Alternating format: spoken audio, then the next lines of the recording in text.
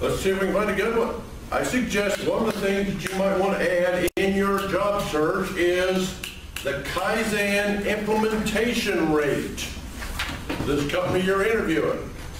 You're interviewing them as well as them interviewing you for a job. It's got to be a good fit, okay? And the reason I say this is Toyota has recorded over 700,000 Kaizen ideas and have implemented 99% of those. 99%. Now what I want you to stop and think about a little bit, what does it take to end up anywhere in the 90s on implementation rate? Remember, you go to your supervisor. Your supervisor is your coach. The supervisor helps you develop that idea, okay? You go to your fellow employees and they help you. And that supervisor then has to be able to say, yes, that's a good idea. Can you imagine how much work has to go into it from the supervisor's standpoint to be able to say, yes, that's a good idea, coaching and everything else, and for your fellow employee, uh, fellow team members to end up with a 99% implementation rate? You better have one highly motivated, well-oiled machine to even come close to that, right? So if you go out and you interview a company and you ask them what's your Kaizen implementation rate, and they said, huh? Or they say, well, about 95%. But we're working on it. Two totally different perspectives, right? Places you might want to work. There are some local uh, organizations that are bumping up against 90%. Some of them are Wabash Valley Lean Network companies, too. Now, how's that stack up against anything you've ever worked for? Did you see it in the previous previous slide or or this one? Let's review. Now, we, I took you through in words and, and, and details a little bit on the quick and easy five-step process to do Kaizen, right? Let's review them. Find an opportunity to change something for the better. Discuss the opportunity and potential improvements with your fellow team members and supervisor. Implement the best improvement. Document a Kaizen report. I told you a little bit what it covered. And share it. Share your Kaizen report with others. But I got a better deal for you. Let's review it in pictures to see if you really truly get it. Okay? All right, very first page says quick and easy Kaizen. The next page says, okay, Henry Ford says start small. There are no big problems, there are just a lot of little problems. And you want to do it to make your job easier, save a few seconds, improve patient care and service, improve safety, and reduce waiting. The next page says learning to see waste. Look at the path over. You don't see it real highlighted here, man. On the, on the view graph, it's orange. All them little squiggly lines from procedure to exam to lab to whatever. The poor, the poor doctor runs his legs off in waste. You turn to the next page, it says discuss and implement. Discuss and implement. So that's the second and third step. We start out with an idea card, completed idea card. This one is many outpatients do not speak English and it's hard to get an interpreter. That's the problem. Idea, let's use the Seraphone for the area. Data originated by whom? Expected benefits, expect, able to communicate better patients, and input needed from various people listed there. On the other half of that card, it says implementation steps. Called IS to get phone, 4-3. Phone in front office, 4-3. Email to staff, 4-3. Phone in use, 4-4.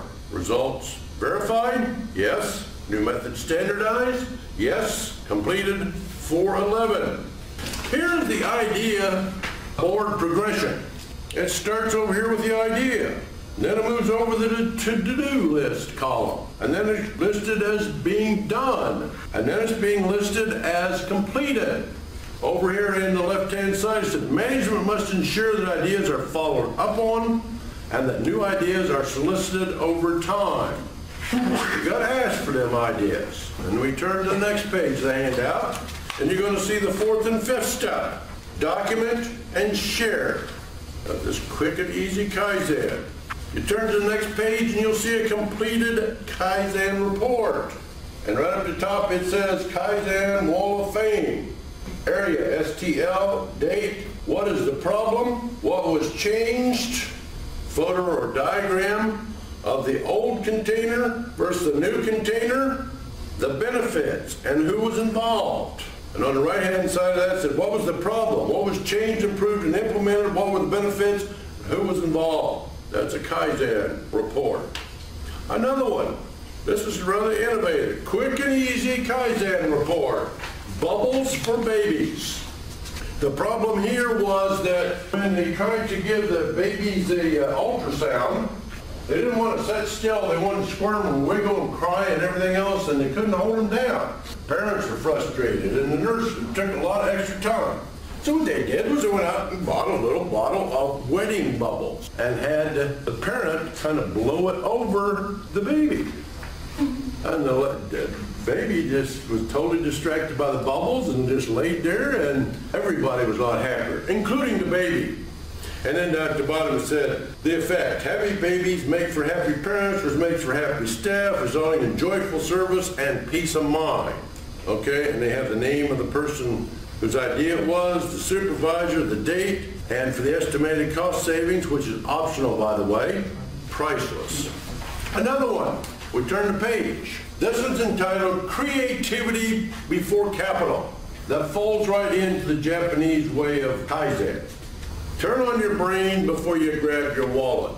This one here had to do with when completing diagnostics, you had to wrap Velcro straps around the patient's waist place appropriate shielding device on the patients, considerable amount of time, increased risk of spreading infections from patient to patient. And what did they come up with? This is, this is to take x-rays of a patient. They went out, they found them a IV pole stand, which is uh, adjustable up and down. And they put that lead shield, uh, the shielding on there, on that IV pole. And depending upon your height and where they needed to protect, they could raise and lower that shield in a matter of seconds. The, the effect, the device does not require contact with the patient to be effective and is much faster than the traditional method. This type of device is available in a catalog, but the department was able to quickly build two of them by for a fraction of the cost. Again, name, department number, and supervisor. Healthcare Kaizen.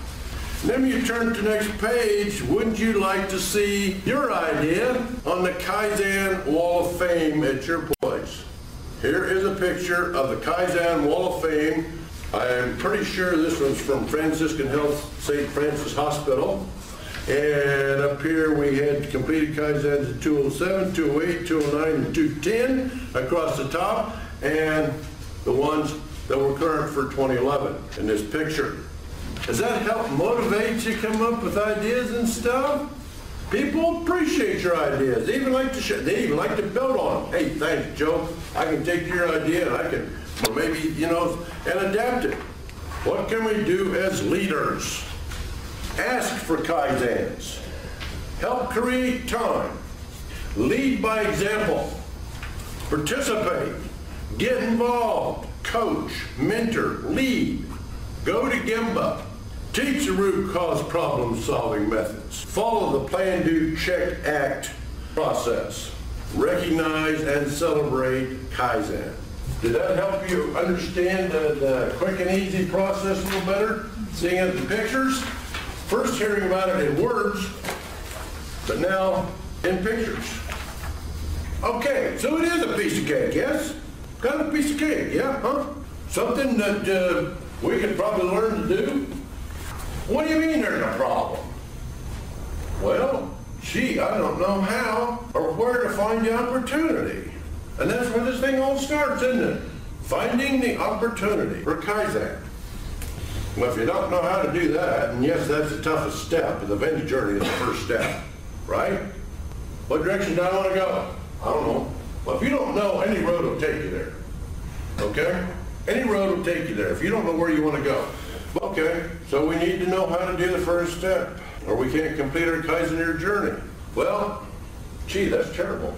That's just plumb terrible. But if you come back next session, we might be able to find something that uh, that helps you helps you think about it, help you help you find that that opportunity.